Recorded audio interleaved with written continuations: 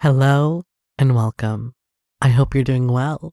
It's your friendly narrator Sue here, and I'd just like to say, when I was younger, my favorite times would be when my family would gather together. I would go and play with my cousins while the adults sat and talked. But once it started getting dark out, something magical happened. We lit candles and everybody came together the children, the adults, the elders, and we began to share in that candlelight our stories, stories of the paranormal, scary things that had happened to us, family lore, encounters with monsters, all sorts of spooky things. And these were my favorite times as a kid. So allow me to light the candles and invite you wherever you may be into my living room for the next hour, your family. So please sit, listen, enjoy. Grab a snack, grab a drink, get cozy. As I share with you some terrifying stories, some heartwarming encounters, but most of all, every tale I tell is thought provoking. Here we indulge in tales of Bigfoot, Dogman, and a whole host of other paranormal entities so get cozy, cuz here we go.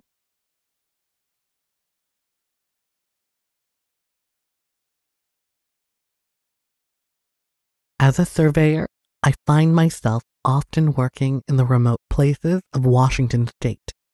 It's a challenge, but a rewarding job that requires a combination of technical skill and physical endurance. The rugged terrain and dense foliage can make it difficult to navigate, but I've learned to use my equipment and map reading skills to stay on course. The forest is also home to a wide variety of wildlife, and I've had the opportunity to see bears, mountain lions, and even the occasional elk while out on a survey. Despite the challenges, I find the peaceful solitude of the countryside to be a welcome change from the hustle and bustle of city life. It's a privilege to be able to work in such a beautiful and wild place. And I feel a sense of accomplishment when I complete a survey and help to map the land for future use. One day, I had a job to do in the remote wilderness of upstate Washington. I knew there were other surveyors in the area where the property was, but I couldn't understand why none of them had bid on the job. It paid very well, and I decided that I would take the job and the pay that no one else wanted. I gathered my tools and piled them into the truck. It was a four hour drive to get to the location, and I knew that it would be a long day ahead. I packed a lunch knowing there were unlikely to be any places of business in that remote part of the wilderness.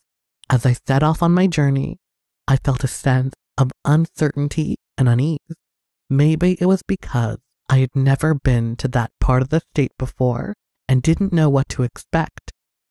The remote location of the job, combined with the long and bumpy drive, made me feel as though I was vulnerable. I was venturing into the unknown. But as a land surveyor, I was used to working in remote and rugged areas, and I knew that I had the skills and knowledge to get the job done. Even though the journey was challenging, I was determined to complete the task and make my way back safely. I knew that it would be a long and tiring day, but I was prepared for the challenge. I hugged my wife tightly, taking a moment to savor her warmth and love before setting off on my journey. The long drive north up to the property felt like an adventure, an opportunity to escape the hustle and bustle of city life and immerse myself in the beauty of the wilderness. As I ventured out of the city, the two lane road felt abandoned, and it seemed as though I was the only one on the road. The isolation was both peaceful and a little eerie, but I also felt a sense of wonderment as I drove deeper into the wilderness. I took in the sights and sounds of the forest feeling at peace for the opportunity to explore such a beautiful and remote place. But I knew my only task for being there was to complete the job and make my way back home. As I approached the turn that would lead me onto the property, I double checked my directions to ensure that I was at the correct location. I rechecked my map and GPS, making sure that I was on the right path. When I was sure that I was in the correct place, I confidently turned onto the property, ready to get the job done. As I ventured down the bumpy and dusty road that led deep into the forest, a sense of unease began to wash over me. The road was narrow and winding, with tall trees towering on either side, creating a dark shadow over the path ahead. The dust from the road was kicked up by my truck, making it hard to see at times, and the deep potholes that the rain had created made the road almost impassable. The deeper I got into the forest, the more secluded it felt, and I knew I was alone and vulnerable. The trees were tall and imposing, and the air felt thick and suffocating. I could hear strange noises in the distance and couldn't tell what kind of animal it was that would make the sounds I heard. The sense of isolation and loneliness was palpable, and I couldn't help but wonder if I had made a mistake in coming here. But then I thought of the job at hand and the great pay for doing it. I also knew my reputation was counting on it, and I did not want to make my career suffer if I didn't finish the job. The journey back to the end of the dirt road to reach the property seemed daunting. Through all the dips in the road and the tight turns to the side between trees, that seemed to block the access, I considered to park the truck and walk the rest of the way to the beginning of the property. But to carry all my tools would be a nightmare if I had to walk too far. I kept driving. I was well acquainted with the deep woods of Washington and found comfort in being out in nature. But this job had sent me further north than I had ever been, and the seclusion of the location was unlike anything I had ever experienced.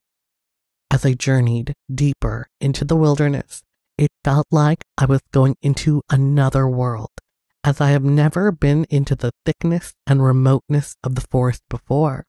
The isolation and unfamiliarity of my surroundings caused a growing sense of apprehension within me, and I began to realize why no other land surveyors wanted this job. I reached the end of the road and stopped the truck to where the map had pinpointed the exact start of the property. I switched the engine off and stepped out of the truck.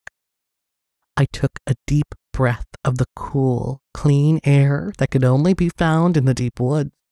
I unloaded my tools and readied myself for the task at hand.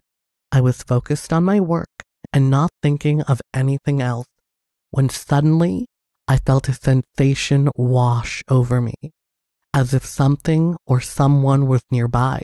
I paused for a moment, looking around to see if anyone or anything was there, but I saw nothing. I shrugged it off and continued with my work, but the feeling of unease remained, and it was hard for me to shake it off. I tried to focus on my task at hand and not let it distract me from my work but the feeling of being watched lingered, making it hard for me to fully concentrate on my job. The parcel of land was vast, and I had to traverse many acres of rugged terrain to mark the boundaries. The part of the property where I had parked was flat, but at the back it was very rugged and hard to work with. The journey was physically demanding, requiring me to navigate steep inclines rocky outcroppings, and dense foliage. As I completed the final section of the survey, I realized that it was getting close to dusk and the thick forest had become darker. The sun had begun to set, casting an eerie orange glow through the trees and creating shadows that seemed to move on their own. I knew that I needed to gather my tools and make my way out before it became fully dark. That's when I noticed the forest had become very still and quiet. The birds had stopped singing, the leaves had stopped rustling, and the only sound I could hear was my own footsteps. The quietness of the area gave me a sense of unease, and I knew that I had to hurry to get out of the forest before nightfall. It was hard for me to shake off the feeling that I wasn't alone, and that made it even more eerie. I had a long drive back home, and I wanted to arrive there at a decent time so I could spend quality time with my wife and children. The job had taken longer than I'd anticipated, but I had set a goal to arrive back home at least by midnight.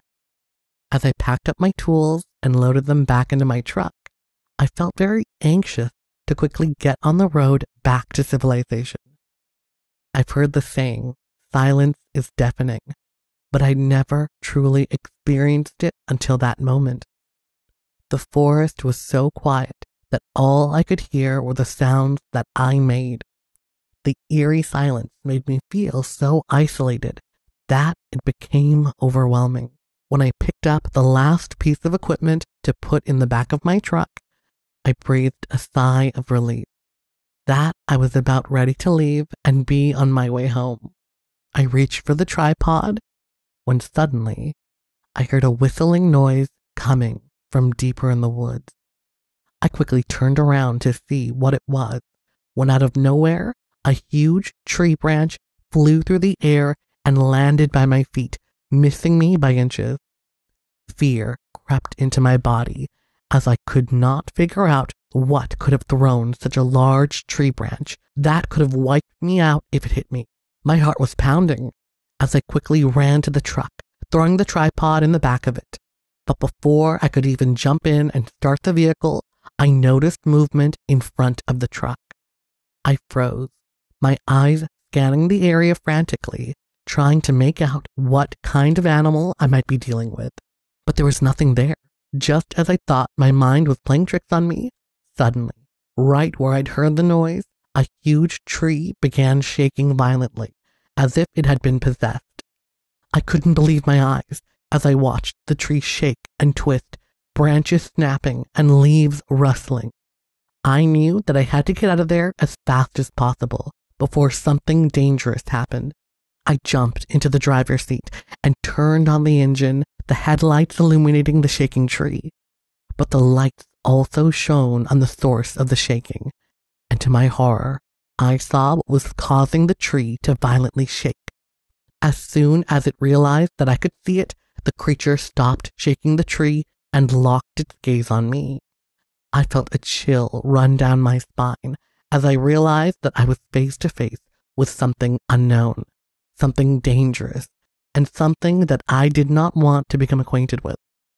As I stared in disbelief, the creature seemed to be frozen in place, staring back at me, judging by how large the tree was. The creature had to be at least eight feet tall. It was covered in thick fur that was matted and unkempt, its eyes glinting with a sinister intelligence. It had a, it had a large, pointed head with a jaw that seemed to be elongated and had a sharp set of teeth. The creature's arms were long and muscular, ending in massive hands with thick fingers that were tightly wrapped around the tree. I trembled in fear and horror as I realized that this creature was unlike anything I'd ever seen before. Was I looking at a Bigfoot? My mind was racing so fast I could not comprehend exactly what I was staring at, but I knew I had to get out of there as fast as possible before it decided to attack me. I yanked the gear shift into reverse and slammed on the gas pedal. The truck tires began to spin, throwing dirt up into the air. I tried to back up on the dirt road as far as I could, but I was not going as fast as I wanted, and I could barely see where the truck was taking me. I did not want to crash into a tree or veer off the road and get stuck out here with this massive creature. I had to turn the truck around to get out of the area as fast as I could. As I readied to turn the truck around to put it in drive, suddenly a loud scream came from where I had just been. I quickly veered off the dirt road and backed the truck between the two trees so I could be turned around and drive forward. But as soon as I put the gear in drive and started to pull away, I looked back to see the creature running towards me. Panicked, I slammed the gear into drive and started driving forward. But as soon as I was on the dirt road, I felt my back tire sink into loose sand and it stopped me in my tracks. The tire was spinning, throwing loose dirt up into the air. I was going nowhere. I was stuck. I frantically tried to get the truck to move forward as I rocked the truck to get traction, but to my horror, I was just digging the tire deeper into the hole. I watched in terror as the Bigfoot came closer and closer to me. I didn't have any other option but to stay in the truck and try to get away. With everything I knew how to do, I was not moving, digging in deeper and deeper in that hole. There was no getting away. My heart was pounding in my chest as I kept looking back at the creature that was running towards me as I tried desperately to get away. But at the last moment, when I thought the massive Bigfoot was upon me, I looked in my driver's side mirror and the creature had disappeared. I knew it was still out there, but all I cared about was getting the truck to move forward and getting out of there. I was shaking with fear and adrenaline. My mind was racing, and I knew that I was running out of time to save myself. I couldn't see the creature around me, and as I let up on the gas to see if I could hear anything on the outside, to my relief, it was silent, and I calmed a little to get my composure and think of how to get out of the situation I was in. I sat there for a moment and listened to the truck idle when suddenly I heard a loud growl and something hit the back of my truck so hard that it jolted the truck out of the hole and back onto the hard surface. Shaking and filled with fear, I slammed on the gas and drove as fast as I could out of the woods. I sped down the bumpy, dusty road not daring to look back myself, my heart still pounding with fear, my breathing labored, my eyes fixed on the road, and my mind racing with the memory of the creature. I finally made it out of the woods and back into the two lane paved road. I knew that I was out of immediate danger, but the darkness had settled in and I was driving at a high speed, eager to put as much distance as possible between myself and the creature. The journey was long, and the dark and deserted road only added to the fear of unease and fear that I felt. It took me about two hours to reach civilization, where I finally felt safe enough to slow down and take a deep breath. As I reached the outskirts of my city, I realized that I was running on empty and had to stop at a fuel station. It was late, and I knew my wife and children were already asleep for the night. I parked the truck and slipped out of the driver's seat. As I stood up, I realized that my legs were weak and very stiff, and at that moment I felt exhausted. I walked to the gas pump, but my legs were shaking, and it took all of my strength to finish filling up the tank and stumble back into the driver's seat. All I wanted to do was get back home where I felt safe and be reunited with my loved ones. I knew that the memories of the creature and the fear I felt would stay with me for a long time. But I was just glad to be back home in a familiar place. When I pulled into the parking spot at my house, a wave of relief washed over me, and I felt so exhausted that I didn't think I could move. My whole body relaxed, and I felt numb. My arms felt so heavy that I couldn't even imagine opening the door to go inside the house. But with great effort, I managed to gather the strength to make it inside and collapse on the sofa. To my surprise, my wife was still awake and had waited for me to come home. I felt grateful that she was awake as I had to tell someone about the terrifying encounter I just experienced and relive the most frightening moments of my life. Her presence made me feel safe and comforted that night. A few weeks had gone by, and I was busy at work when I received a phone call from the agency that hired me to survey the property in the woods. The agent and the owner wanted to have a talk with me about the property. It seemed they were concerned about my report and they wanted to know if I had encountered any problems while I was out there. I hesitated to tell them about my encounter with the creature, but I knew that I had to be honest. I explained to them what had happened and the fear that I felt. They were shocked and were not able to explain what had happened. I was informed that the markers that I had placed for the property's boundaries were missing, giving the impression that I had not completed the job. The only evidence I had of my work were the blueprints I had provided them. They also said they will have a crew go out and investigate the area. I knew that I would never be able to go back to that place again, but at least I had the comfort of knowing that I had warned them and they were going to investigate it. The agency also told me they had a hard time finding someone to go out to the property to survey it. All the local firms had refused the offer to go out in the woods, no matter how much money they had been offered. I now understood why this bid was such a high price, and why the locals knew about the danger of the forest and refused to step foot in it. I just wished someone had told me before I had taken the offer.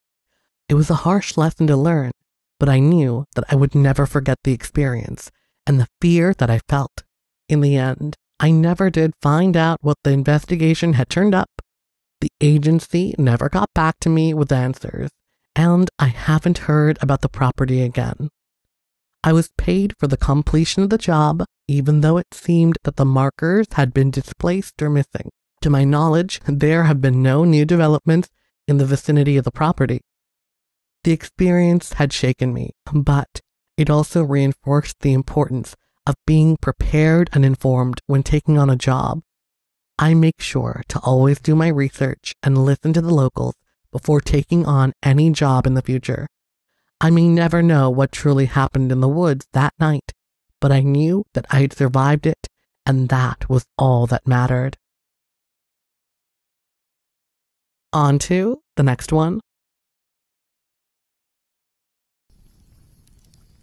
My grandpa and I were fishing on Stony Creek one afternoon. People fished there for pike, walleye, smallmouth bass, perch, bluegill, and crappie. It was growing dark when we looked over toward the south end and saw a tall, hairy man like something eating what we believe was a squirrel or rabbit. Once it noticed us, it went into the water, leaping at least 15 feet in the air. It was huge and covered in dark fur. After a short while, we felt taps under our John boat, then something started rocking the boat, and there weren't any other boats making waves around us. The bank area is rocky and flat land. My grandfather talked to an official at the park about this, but all they suggested was that no bears were in the area, so they don't know what we saw. My grandpa said it was probably some guy in a costume, but no man can do what that thing was doing or swim underwater that far. I will never go to that lake again. On to the next one. In Baraga County, Michigan, we were scouting for bear hunting, looking for likely blind location and sign. We had walked in from a trailhead two or three miles over very rough terrain. While crossing a blown out beaver dam, we observed three sets of very fresh tracks in mud. The largest were 15 to 16 inches in length, while the two smaller sets were 8 to 10 inches. The mud was newly exposed, quite soft, and would have filled in quickly if track were more than a few hours old. This is a very isolated area.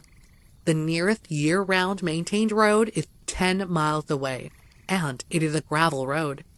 The tracks were very defined and had very long strides, four plus feet for the larger tracks.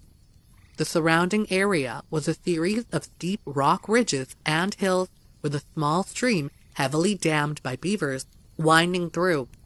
You could see where the tracks left the mud and climb the hill, and it was in an area that would be extremely difficult to walk due to the steepness and loose rocks. This entire incident left my friend and I both quite shaken, and we left the area as quickly as possible. No other sightings or incidents occurred, but we had noticed a distinct feeling of being observed shortly before seeing the tracks, and this had never been felt by either of us before, even though both of us had seen bear and other wildlife many times. We had just strange feelings of being watched. This was very disconcerting due to the distance we were from our truck. We were looking for bear tracks in mud of recently exposed pond bottom. The area is dense forest of spruce, pine, and some hardwood. The area is very isolated and rugged, with deep hills and cliffs to 500 feet above valleys. This is some of the remote land you will find in the lower 48. It is likely there are not 10 homes within 20 miles in any direction. The only roads in the general area are dirt logging roads, and most are impassable due to non-use. On to the next one. In Benzie County in Michigan, my younger sister and I were on our way back from the hospital. She was about 20 years old. I was 23. It was probably around 2 or 3 a.m. when we finally hit County Line Road, outside of where my mother lived. We were both staying with her at the time of the sighting. My mother lives in Buckley, about six miles down Country Line Road. Once you turn off the main highway, we were about half a mile or so down Country Lane Road when we were talking, making jokes. We were both very tired. I turned to say something to her, and when we both looked back straight ahead on the road ahead, I saw a tall thing literally take two steps, and it was across the road. It stood approximately seven or eight feet tall. My husband at the time was six foot five, so it was easier to make out the difference. As soon as we saw it, we both jumped and said did you see that? We immediately knew what we both saw, and I raced back to my mom's house. Once we were back home, we recalled the details. We were finishing each other's sentences, which was very disturbing knowing we recollected the same thing. It still seems funny to think about, but the thing had long, flowing fur. It actually looked groomed. The hair was all over its body and it was brownish with silverish tips. The arms were very long and hung down just above its knees. The head was hunched down, and we did not see the face. We laugh about it now and still get chills, especially when we both recall how the thing was walking like it had someplace to be. It was the strangest thing. We both agreed that it was walking in haste, not as if it were trying to get away from something or some place, Rather, almost like a person would walk hastily on a city street when they are late for a job or an appointment or something like that. In and around the same area, just down the short drive off Country Line Road, an elderly man and a woman lived in a small house off the same drive. I don't think I was living with my mother at the time of this alleged incident, but as I recall, it wasn't too long after our sighting. My husband and I went for a visit to my mother's home, and my mother told me the man down the road was just beginning to head down Country Line Road, going back toward the way we were coming when we had our sighting. The story was, he was just starting to pick up speed, and he was alone in his truck during the day when he had to slow down because he noticed something crouched down in the road. He had to eventually come to a complete stop when the animal turned and looked at him, and proceeded to run off down the ditch and into the wood. The description of it was that it had hair all over its body, it had a puggish nose, and the chest was more bare. They said he was saying it probably stood about seven feet tall. We have had a lot of strange happenings in this area, even other than these sorts of sightings. I once asked a gas station attendant in the Kingsley area about it not long after my sighting, and he laughed and said, That's nothing new. It was at night time, and it was clear. On to the next one. In Alpena County in Michigan, it was on a 150 acre private property, mostly wooded with small section 5 acre being clear cut at about every five years. Bound by mostly farmland, heavy swamp, only three quarters of a mile from Thunder Bay River. While bird hunting with my son, we heard a rustle. As any bird hunter, the gun came up, but I expected, because of the sound, to see a deer startled from sleep. Instead, I glimpsed something quickly moving between the trees, about eight feet apart, over the ferns and barely below the lowest tree line. Admittingly, this couldn't have been for more than three seconds. This was a very quiet day with very little breeze. It wasn't so much what I saw, but what I heard. If I was deaf, I could dismiss it as a human trespasser. It was all dark brown, about seven feet tall, and running extremely fast, given the original startle, silently through the ferns, branches, and sparse deadfall. It was not a bear. I was not a believer of Bigfoot at the time. I told myself it was a deer leaping because of the silence and upright position that covered about 11 yards. Acceptable, right? I looked down at my son and saw nothing but pure white fear in his face. Nothing odd at this location that I've ever heard stories of. Please note, I was not a believer of Bigfoot then. My son's facial expression could only be topped by my own. I was scared of the unknown. I've come to terms with what I saw. It wasn't a bear, deer, or trespasser. Through my years of hunting and fishing, I've seen many creatures but many elude me. I've only once seen a wild bear. It happened across the highway. Only once have I seen a bobcat. I was strolling through some purchasable land. If I don't see these animals while motionlessly sitting in a tree blind, how many others haven't I seen? I questioned my son as soon as I could talk, my mind still trying to convince myself, my body shaking, and my speech obviously stuttered. He heard the original stir but couldn't pinpoint it after because of silence. He did not see what I saw. His fear apparently came from the look on my face. He was nine years old. We've hunted together several times, and, of course, he knows me enough to know something was wrong. This 160 covers swamp, clear cut, small field, and old forest. The sighting was 180 yards from the field, 150 yards from the cut, and 50 yards from a very mild swamp in old wood with new growth. We were on a four wheeler path about 60 yards away from the subject. On to the next one. Do Sasquatch hibernate? This is a subject that remains to be proven. However, we believe we have solved this question, at least for our region. My interest in this project began when I attended a seminar conducted by the well accredited Dr. Jeffrey Meldrum, who is a respected authority on the Sasquatch Bigfoot creatures. Myself and a few other retired teachers of varying subjects all met over and during several different occasions while attending the most entertaining subject of the Bigfoot creatures, and we eventually formed a study group, more for our own entertainment than for any official sanctioned research. Our major concern came about after we found enough believable evidence that the Sasquatch does exist, but not credible evidence had been offered as to whether or not the creature hibernates. Therefore, I took it on myself to volunteer to do what no one else in our group was crazy enough to dare. I soon found out why.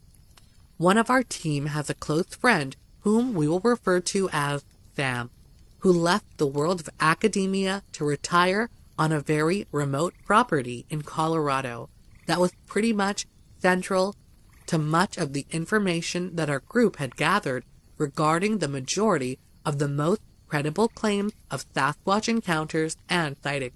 Our contact was kind enough to secure an invitation for me to travel up into this remote location and use this man Sam's private road through his acreage to gain access to an otherwise impossible route to a mountain canyon that was often referred to as the Sasquatch Ridge. In fact, our group is in possession of three old and out of print maps that all refer to the same Sasquatch Ridge Trail.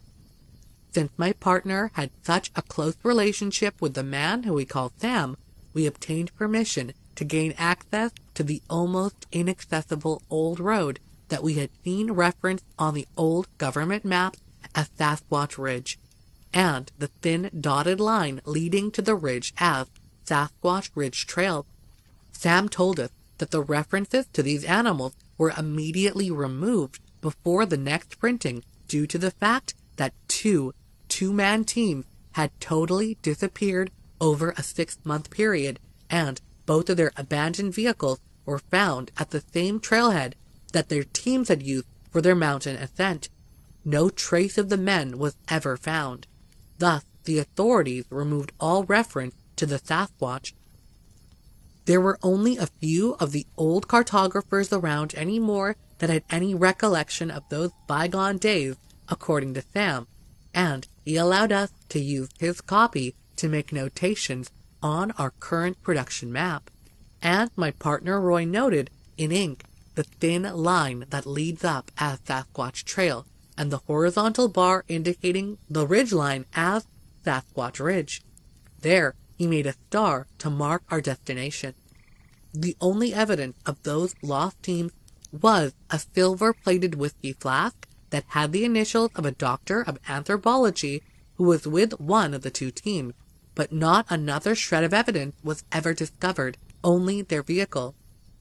It had taken quite a bit of wrangling and finagling for our team members to get permission for us to use this man's property for my search, but he absolutely insisted that there be at least two of us to make the trek, and he also made us agree to leave another two men to make a base camp at the place the ancient road stops and the trail begins to ascend the canyon leading to the mesa far above.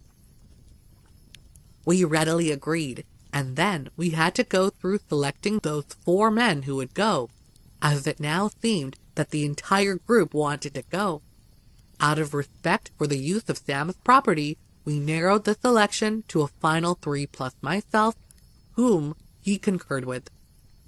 We prepared as best we could, and from previous explorations that many of us had learned from, we made pretty short work of gathering our supplies, and since the first traces of the colors of fall, we were already hitting the upper mountain, where we all sat at base camp. Roy and myself, who would make the trek upward, found ourselves shouldering our more than heavy backpacks and waving goodbye to our comrades below as we began the gut wrenching ascent up the trail. Jerry and Bill were chopping firewood from an old log as we left, so they would be comfortable. Thanks to Sam's generous permission to use this upper route, we were already a day or two closer to our goal of reaching what we perceived from our research and visual sightings through our binoculars to be a huge plateau atop where we were now headed. It wasn't long before we had to make our first stop to rest our legs from the intense pain of the climb, and already the altitude was taking its toll on us both. Before too much further, the inch of the previous day's snow was making our climb even more difficult as the light snowfall had covered the trail just enough to camouflage the loose rocks underneath. This slowed our progress significantly. We continued to climb toward a rather dark, wide area beneath a snow-covered overhang, and it gave the appearance of a jutting cliff under which we might rest a bit from the light snow that had now begun to fall. The kind of flakes that seem to have a penchant for sticking to eyebrows and eyelashes, so one finds himself continually wiping them away as when fighting mosquitoes in a swarm. Not nearly as painful, however. Roy thought to take a compass bearing to check our path ahead with our map. However, there was some sort of magnetic attraction that eliminated any chance of accuracy. Besides that, I jokingly reminded him that the only direction that we cared about was up. As we rounded the gradual turn to our right, the trail almost seemed to be guiding us to a specific goal, as the climb was becoming easier and we were no longer having to step over rocks and boulders. A few hundred yards further, we found ourselves approaching a thick pine forest on a kind of mesa, almost as if the entire top of this tall peak had suddenly been sheared off and a thick forest had mysteriously spread it up. Even the trail we were now walking on was dirt rather than hard rock, and the dirt was thickly covered in pine needles. We now seemed to be on a well pronounced and well traveled trail.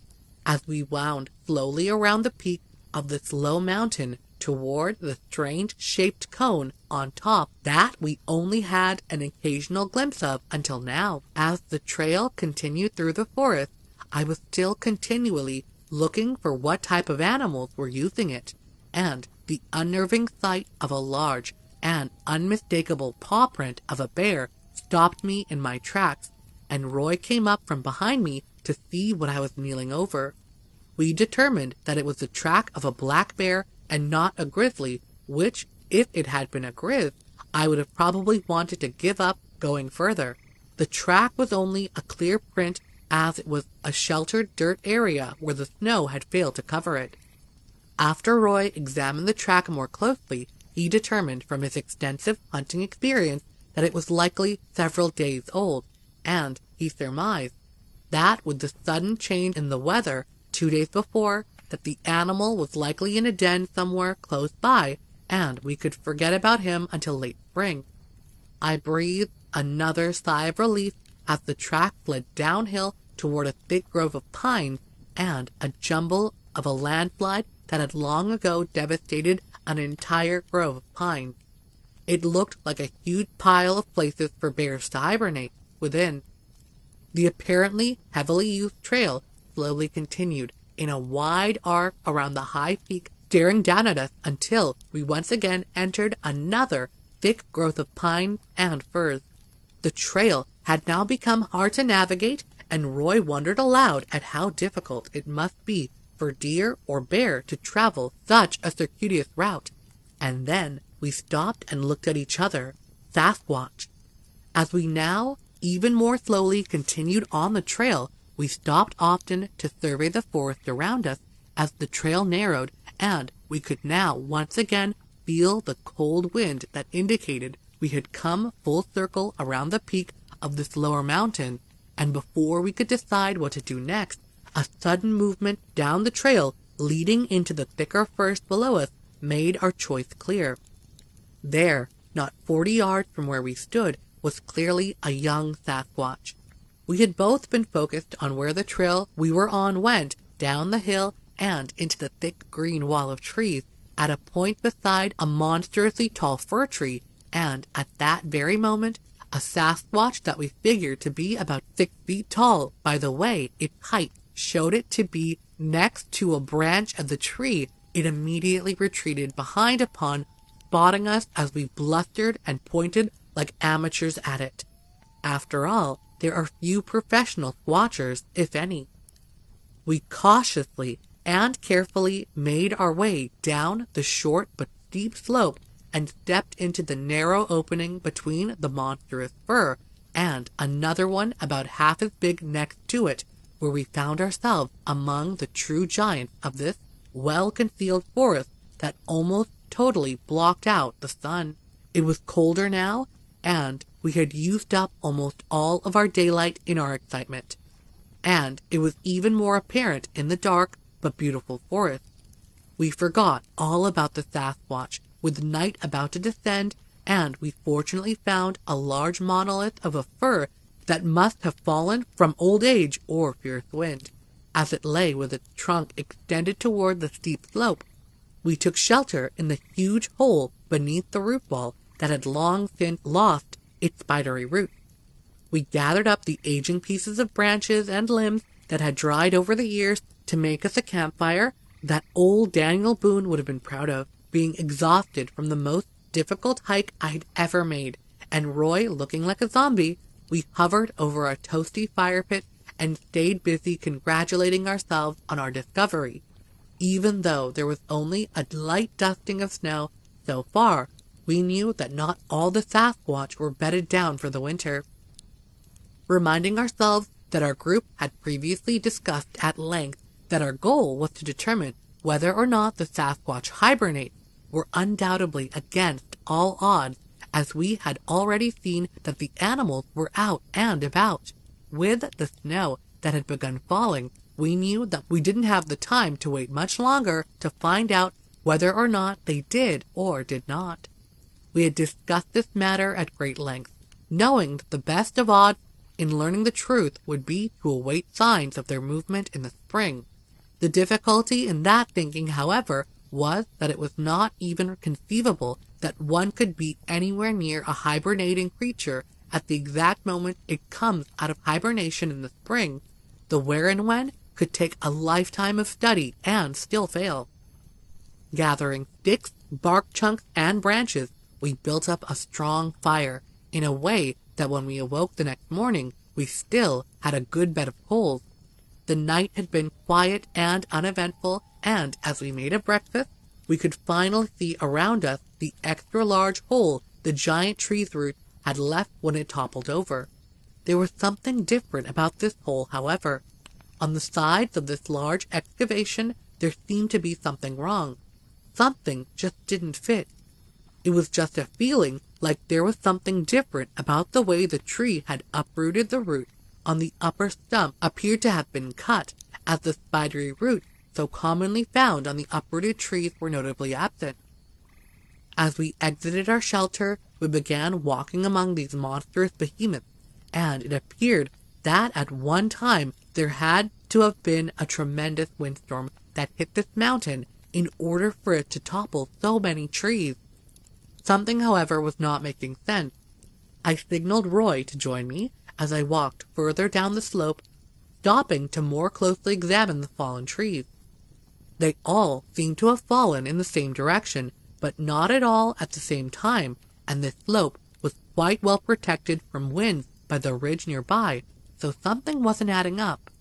Then we had an idea at the same time, and as we dropped into another hole, we found that it had a soft bottom. Beneath the dirt in the floor of the holes we now checked, we found that each contained an entire deep layer of pine boughs. Pulling up on one pile, it revealed itself to be several feet thick. We ran back to our shelter of the night before, and its floor was not at all like the other two. Suddenly, the reason became readily apparent. This tree still had a full complement of branches, and they were still green, as it had obviously recently fallen. A quick check of all the other downed trees showed they all had thick carpets of branches and pine needles packed deep on the floors. We spent half the day searching this hillside, and then we went into another thick forest of several species of balsam and other evergreens that neither of us knew what they were. But in the thick forest of balsams, we found definite evidence that something had purposefully dug up the entire one side of several individual trees and it appeared that someone or something had been working diligently at severing and smashing the roots on only one side of the trees. Then we knew that these Sasquatch had the superior intelligence to expend the effort to steadily weaken a tree to cause it to fall over, or, in the large cases, to weaken the root structure so the next strong wind would cause it to topple.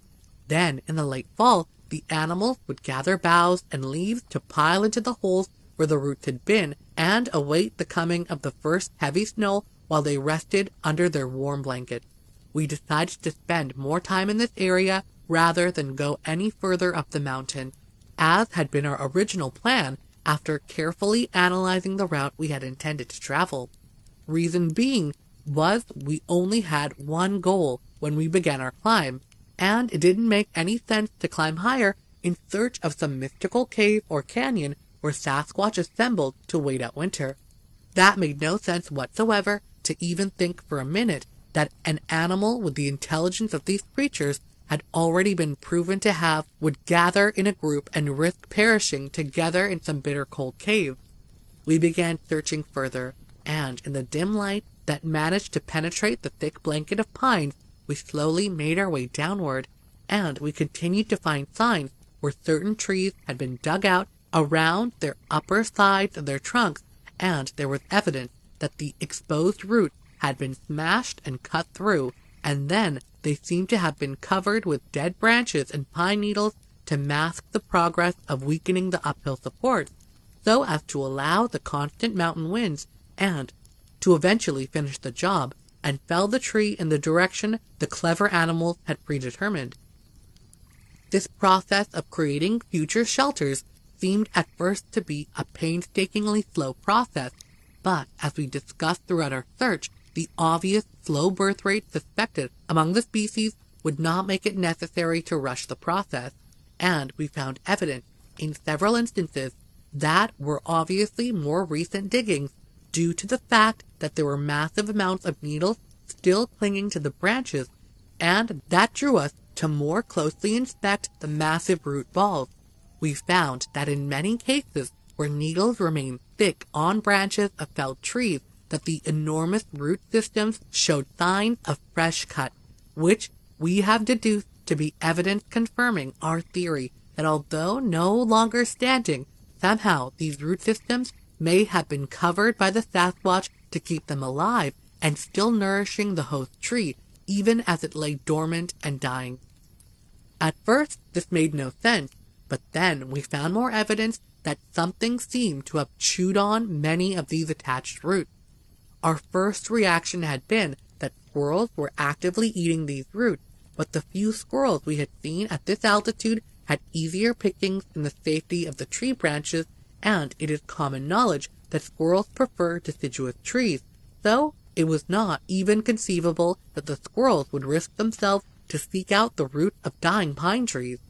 Having eliminated that thought, we began to more closely examine several more of these root balls and after hours more climbing in and out of several more holes and shifting through the floors of these holes, we have reached what we believe to be absolute proof that the Sasquatch does indeed hibernate.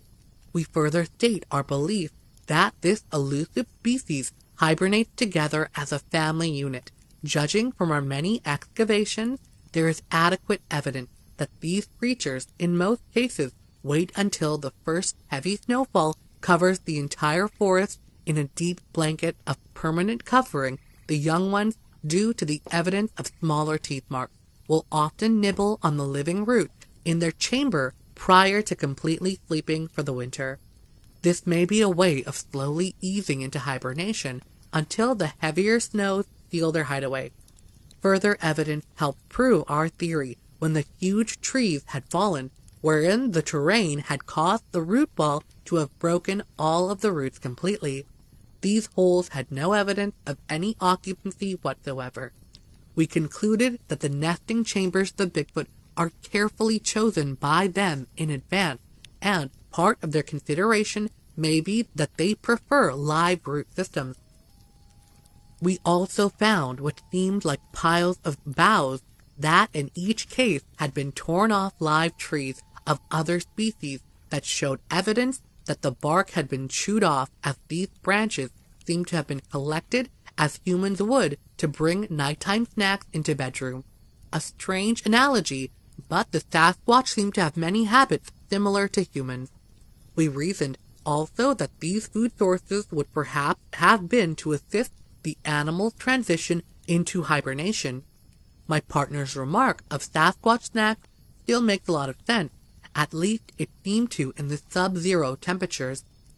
We made camp a ways back in a patch of balsams that were out of sight of this obvious Sasquatch territory and had a rather fitful sleep, which we both attributed to being in the home of these giant creatures brought on sleep-inducing stress as we half expected to be attacked at any moment. we awoke to a blanket of white, an unexpected early snowfall that, from the accumulation already covering our boot soles, we took the hint and packed up to return to our base camp. This was definitely the beginning of winter. Roy agreed to my assessment as he had grown up in this country, and he said the last winter report he had heard told of a probability for an early snowfall, which this late in the season it would likely stay, so it made sense for us not to stay. The snow was falling heavier now, and both of us were entirely focused on placing our every step when suddenly Roy's arm shot out to block my next step, and as I raised my eyes to the trail ahead, a dark shape ducked immediately into the darkness of the forest.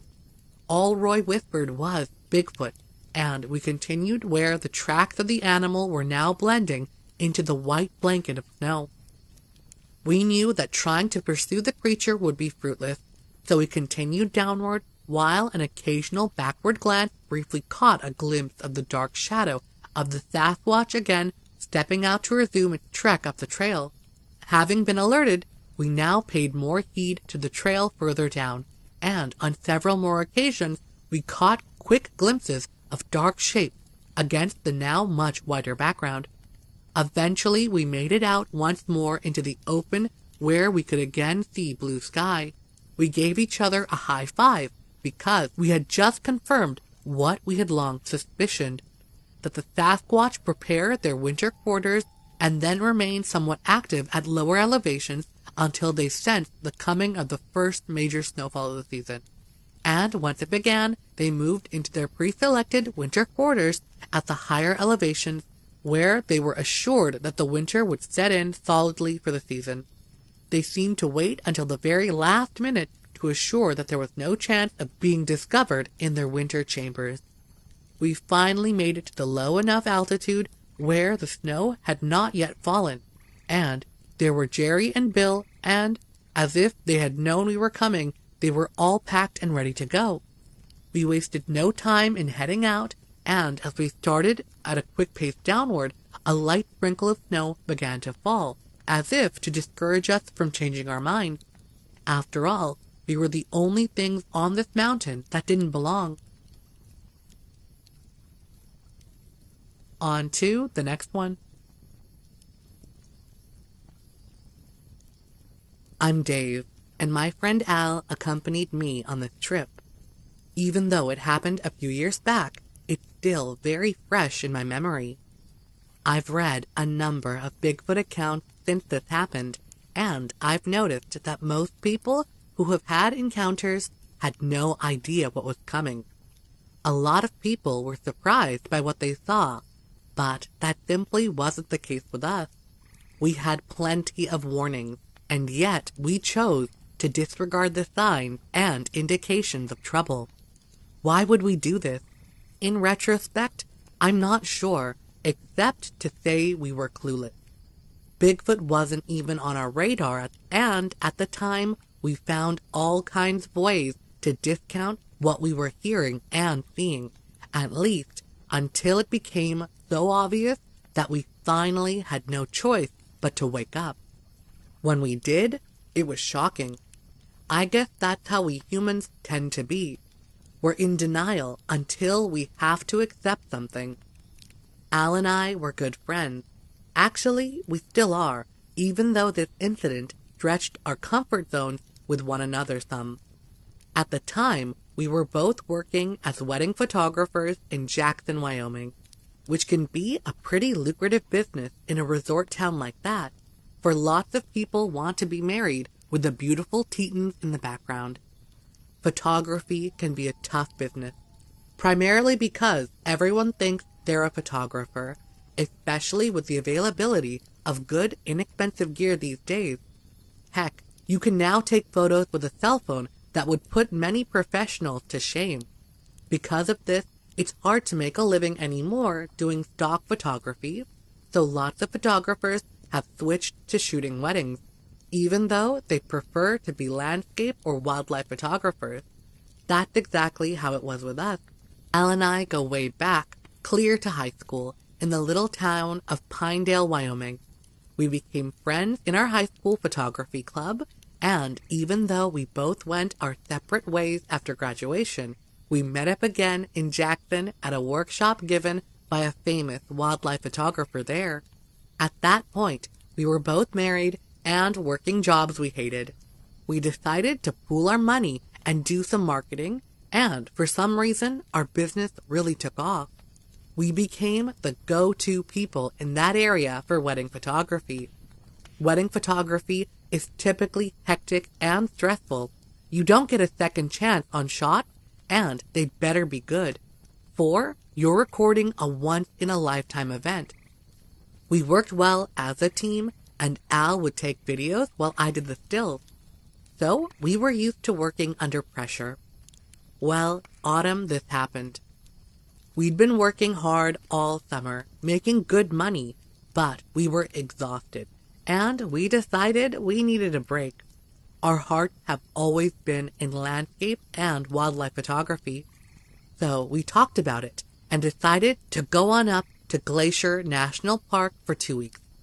Since it was late September, we knew the park visitation would be slowing with most tourists gone. We could do some nice day hikes and hopefully get some good photographs of the autumn colors, as well as maybe film a few bears before they went into hibernation. The plan was to rent something near Glacier, which would mean we could have the comforts of home and yet get going really early and take the hikers to where we wanted to be each day. If you want good landscape shots, you need to get out before sunrise, so you can be where you want when the sun actually comes up. Early mornings were also the best time for wildlife shots. So we rented a place for a week near West Glacier the west entrance of the park. We then rented a small cabin at Many Glaciers for the second week, over on the other side of the park. Neither were fancy or anything, since all we really wanted was a place to sleep. We hoped to be out and about every day making photos. We were excited, as we'd been talking about maybe putting together some coffee table books or a calendar, and we knew from friends that anything to do with Glacier usually sold well. Our conversation on the way up there from Jackson was mostly about how we were going to use this as a springboard to get us out of the wedding business. We were both Wyoming boys, and, to be honest, it was our nature to be solitary. That's why we'd chosen photography in the first place. Well, going to Glacier was just what the doctor ordered. And I will say our first week was fantastic. We spent time on the shores of Lake McDonald, which is one of the most photographed places in Glacier, and for good reason. We ventured up to Bowman and Kintla Lake in the North Fork region with good results there also. But a few days after we arrived, something strange happened. We'd hiked up to Avalanche Lake, a popular spot not far from the Avalanche campground. We had set up our cameras by the lower part of the lake when a group of hikers came by. They stopped, all excited, telling us we should pack up and get out. When we finally got them slowed down enough to make sense, they told us they'd been up at the top of the lake just below the head wall of the valley when they'd heard a strange howling coming from high above. They said they at first thought it was wolves, but when they looked up, they could see two dark animals way up on the steep wall, a place wolves could never go. Plus, these things were too big for wolves. The howling deteriorated into shrieks, and the things started throwing rocks down the cliff. Since these things obviously had hands, the kids weren't sure what to think, so they took off, terrified. Well, Al and I, both in our late 40s, were old geezers compared to these kids, who looked to be in their late teens, if that. And our first thought was that they were playing a trick on us. I mean, the whole story was preposterous, even though they were pretty convincing. But their supposed fear was contagious, enough that we both packed up our gear and followed them back down to the campground. Once back, the kid asked us to take a group photo of them using their cell phones, which we did, and Al also took one with his camera. After everything was over and done, we later studied that photo, trying to figure out from the looks on their faces if they seemed honest or not, and we had to say that they did. They really seemed genuinely scared. I guess I have to say that this was the beginning of our refusal to acknowledge that there was something strange in Glacier. Something we would later meet in an up close and personal way. By saying these kids were fooling us, we denied the possibility that what they saw was real. A denial that might have saved us from what we later experienced, though who knows? Would we have gone home if we believed them? Probably not, but we might have been more careful about where we went and what we did, being aware that there were strange creatures out and about. Well, our first week was up, and as we looked through our photos, I will say we were both very pleased with the results. A lot of stunning sunrises and sunsets, as well as photos of aspen and larches in their fall colors, great shots of moose, elk, deer, various birds, and even a few black bears, though no grizzlies, but we were pretty sure we'd seen a few over on the other side of the peak. For the transition from west to east of the park, we planned a special side trip. We'd hike the Highline Trail to the Granite Park Chalet and spend the night, then hike back out over Swift Current Pass, which would take us to the parking lot at our cabin at the Swift Current Motor Lodge in Many Glacier. We would leave our car at the cabin there at the start of the hike, then ride the shuttle to the top of Logan Pass, which divided the east and west side and was also where the High Line started. By hiking to the Granite Park Chalet, we would see some of the interior of the park and yet not have to carry backpacking gear as the chalet provided sleeping accommodation, as well as food if you pre-ordered it, though you had to cook it yourself at the chalet kitchen.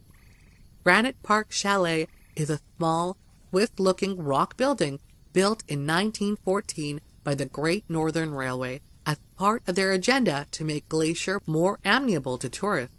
The chalet is accessible only by hiking, and it's like a backcountry hostel. The rooms have bunks, and they provide bedding if you pay extra.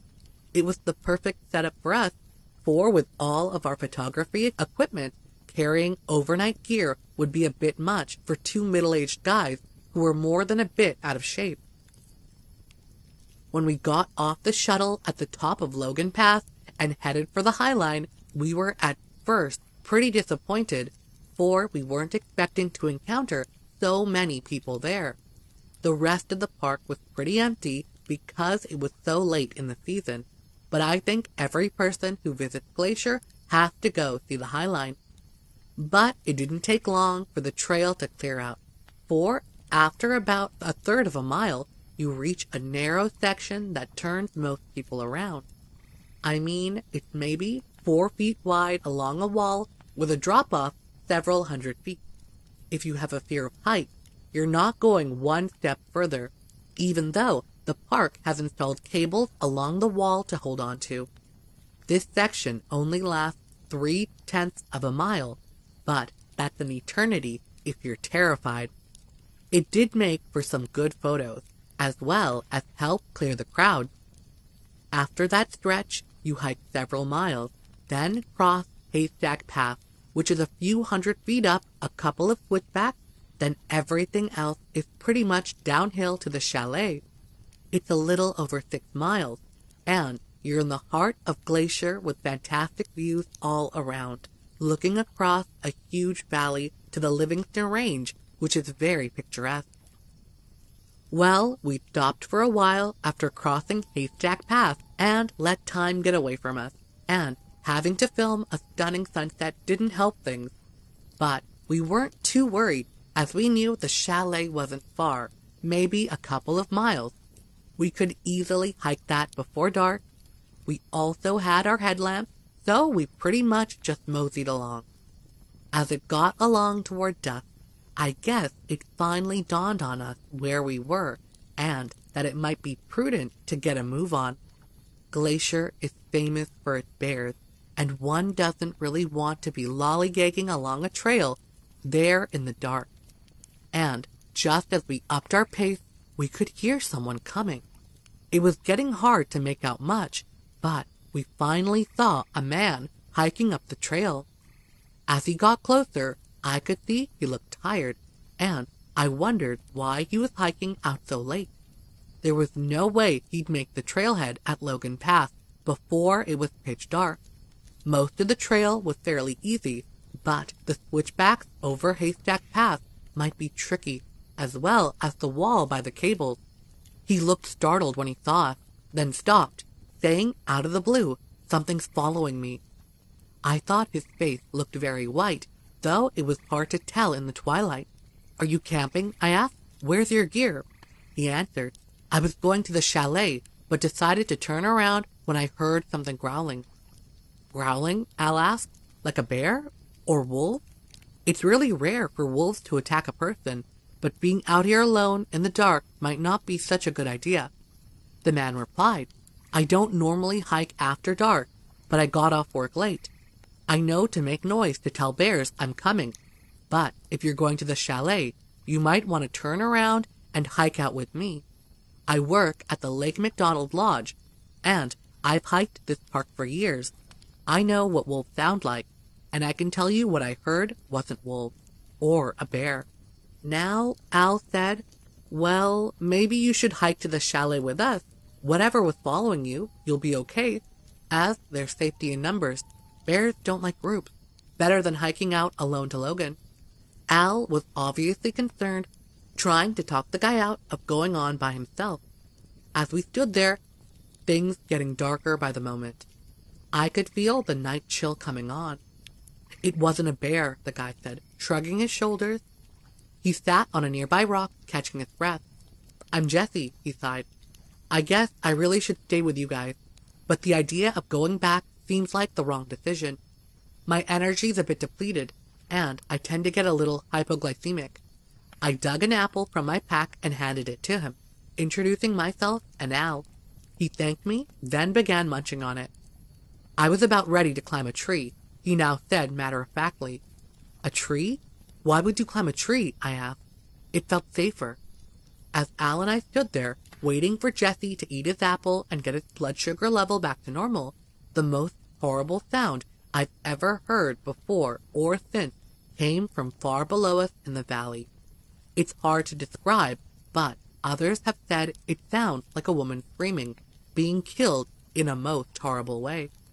Jesse jumped up, and the three of us stood there in the near dark as Al said. That was a mountain lion. I've heard them before down in Wyoming. It's a very intimidating sound. The one I heard had just brought down a deer, which I knew because I came across it on my hike out. If you get on the internet, you might be able to find a recording of one. Are you sure that's what it was? Jesse asked doubtfully. No question about it. I'd stake my life that that's what was following you. It found a deer for dinner instead. Let's go on to the chalet. We won't have any trouble now. I don't know why, but I was now feeling a sense of dread.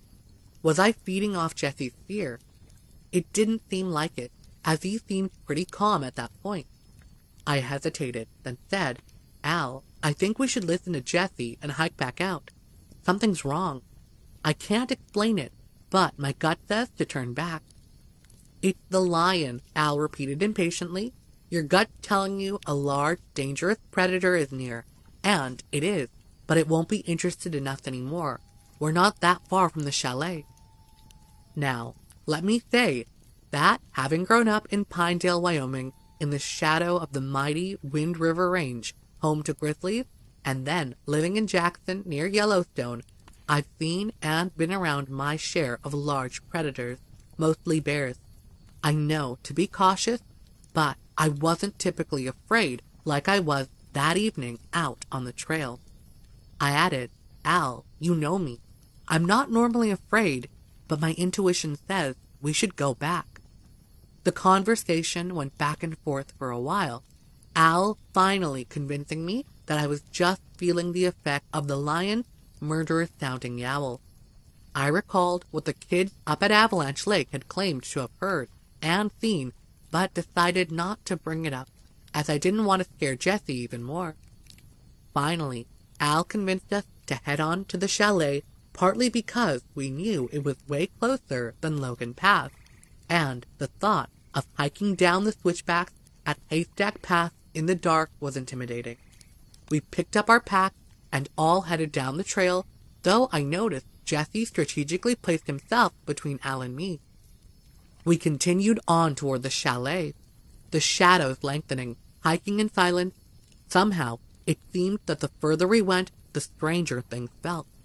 It had kind of started with Jesse's comment about climbing a tree, an action that seemed logical but actually wasn't, as most predators can also climb, something someone would think of doing when they weren't thinking rationally. It got worse and worse until it became a bizarre, out of focus feeling. It reminded me later of when you get out of a long bout of dental work. You're disoriented and unsure of yourself, and it takes a while to get back to reality. Except our reality kept getting more unreal. I don't think it had anything to do with Jesse personally, but I do think in retrospect he brought it with him, though not intentionally. I think that whatever had been following him was now following us, in spite of Al being so certain it was a big cat that was now sidetracked feeding on a deer. Al was wrong, as we found out, and wrong in a bad way. A really bad way that he would soon take the brunt of. We've never hiked the High Line before, but Jesse had, and he said we were close to the chalet, but it never appeared. We just kept hiking on and on until it was dark enough that we needed our headlamps to continue. As we stopped to dig them out of our packs, Jesse remarked, We should have been at the chalet by now. Something's wrong. Is it easy to miss? Al asked. No. It's very visible from the trail. Even at night, you can see the inside light. But I think we somehow passed it. We decided to continue on for a while, then reconnoiter, hoping we just misjudged the distance. But we soon came to a fork in the trail, a branch leading off to our right, even though it was fairly dark. We could see the outline of a ridge where it looked like the trail began climbing. This is the fork to Swift Current Pass, Jesse said. We missed the chalet, but it's not far behind us. How we overlooked the cutoff from the main trail is beyond me, but at least now I know where we are. We turned around, relieved, now following Jesse, but it was only a moment later that we almost ran into him, for he had stopped smack in the middle of the trail. There's something ahead, he said under his breath. I could tell he was scared, but at least he didn't try to get in between Al and me. We stood there, listening, when suddenly, far in the distance, came a mournful howling sound. Al whispered, Wolves. Jesse simply said, Not wolves. Then what is it? I asked. I don't know, Jesse replied, barely audible. I've heard lots of wolves, and it's not wolves. I again flashed back on the kids at Avalanche Lake.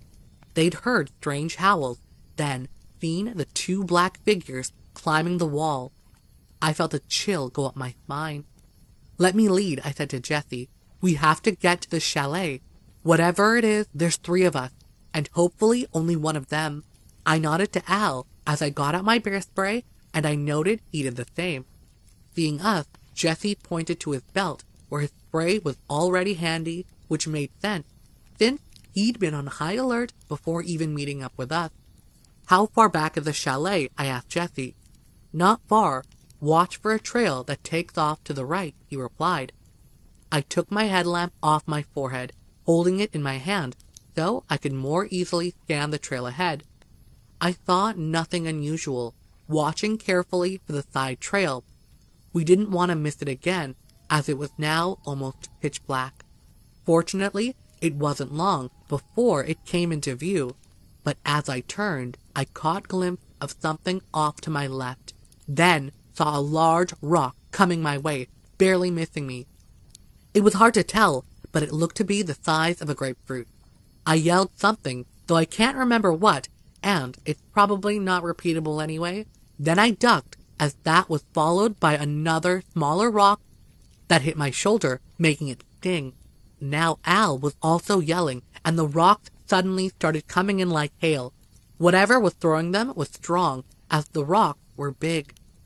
Al began picking up the incoming rocks and throwing the ones he could back at the shadows. But when Jesse yelled for us to run, we did, following his headlamp up the trail, rocks lobbing in behind us. I had no idea how far the chalet was, but it had to be close or we were goners. For there was no way to even use our bear spray. Whatever or whoever was throwing the rocks was staying hidden in the trees. I again thought of the kids at Avalanche Lake. Hadn't they said the black creatures were throwing rocks? Everything seemed to slow down, as if it were just a dream. I felt several more large rocks hit my pack, and later I found one of my lenses had been totally shattered.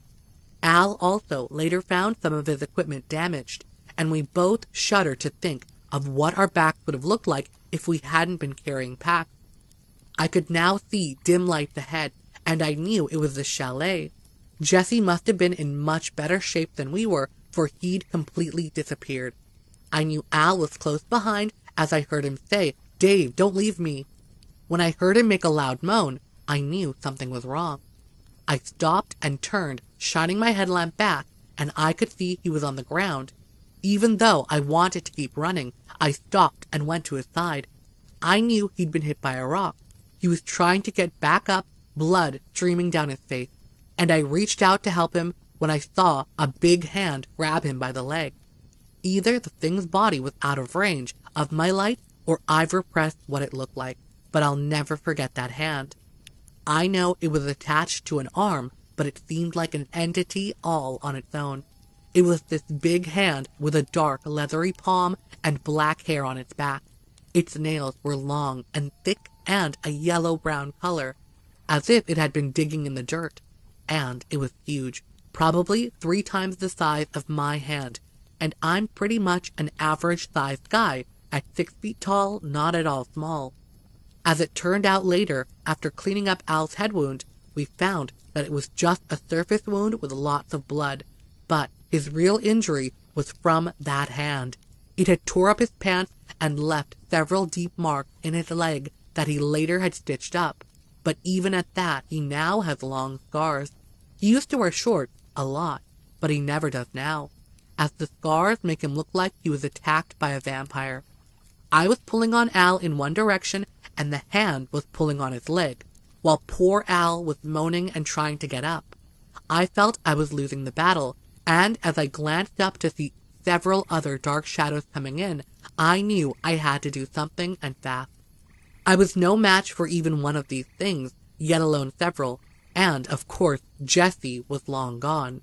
I held up my bear spray to take off the safety, and the minute I did, the hand let go. I knew the creature had to know what bear spray was to react like that. People have said it was a bear, but bears don't have hands like that. I quickly grabbed Al and pulled him, his pack falling from his back as I did so. Now, you can tell Al's a true photographer by what he did next and I find it hard to believe, but he grabbed his pack, pulled his camera from it, and began shooting photos. A lot of the more expensive cameras don't have built-in flashes, but Al grabbed his little snapshot camera, which did. He managed to shoot off a dozen or more photos as I stood there dumbfounded and unable to move.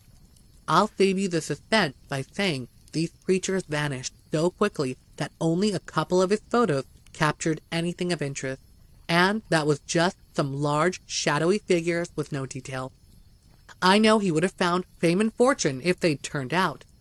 Suddenly, whereas I felt as if I was walking around in a cloud, my head was clear as a bell, and I got Al turned around and headed toward the chalet. Jesse helped us through the door. Then we somehow found a chair and examined Al's wounds. A guy who'd been standing on the upper deck of the stone building was aware something strange had just come down and he asked if we were okay. Come to find out, he was one of the chalet's caretakers, and after we got Al fixed up as best as we could, this guy checked us in, and even though we were late enough that the kitchen was closed, he went in and cooked our pre-ordered dinner for us. His name was Kevin, and he was a super guy. Al didn't feel much like eating, so Kevin brought him some broth. Then we pretty much put Al to bed with some painkillers that Kevin kept for emergencies. Al had acted like nothing much was going on through the whole thing, and we thought the wound on his head was the extent of it.